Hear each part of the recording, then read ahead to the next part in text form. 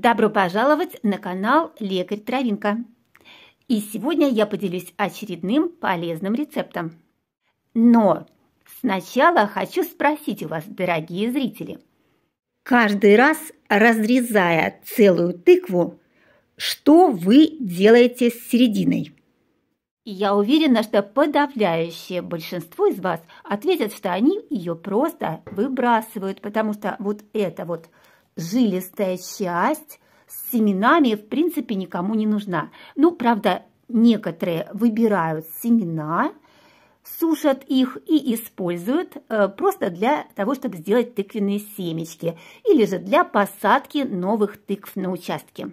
Но мало кто знает, что есть рецепт, для которого требуется именно вот эта вот серединка тыквы.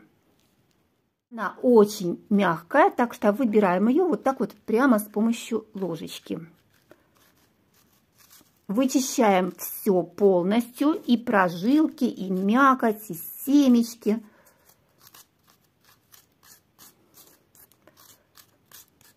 Вот оставляем такую лодочку, которую потом можно использовать в кулинарии.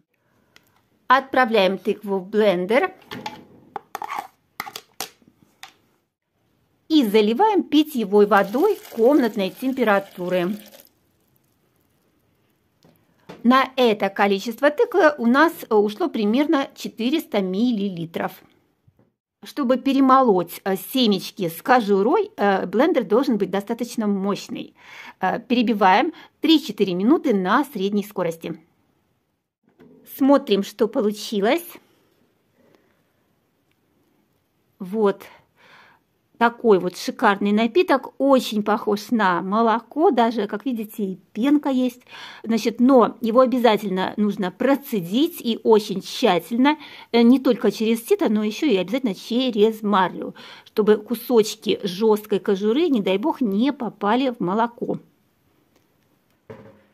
Напиток очень богат железом и цинком, который восстанавливает плотность костной ткани и является прекрасной природной профилактикой артрита и остеопороза. Именно поэтому пожилым людям рекомендуется регулярно пить тыквенное молоко. Просто изумительный, очень красивый цвет – и вкус вам тоже понравится. Обязательно попробуйте приготовить такое молоко. Ну а сейчас я расскажу о его полезных свойствах. Это прекрасный натуральный продукт, богатый фосфором, магнием, кальцием, бета-каротином и другими микроэлементами и витаминами. Тыквенное молоко укрепляет нервную систему – и рекомендуется тем, кто постоянно испытывает стресс. Стакан молока в течение дня спасет от эмоционального перенапряжения, наладит сон.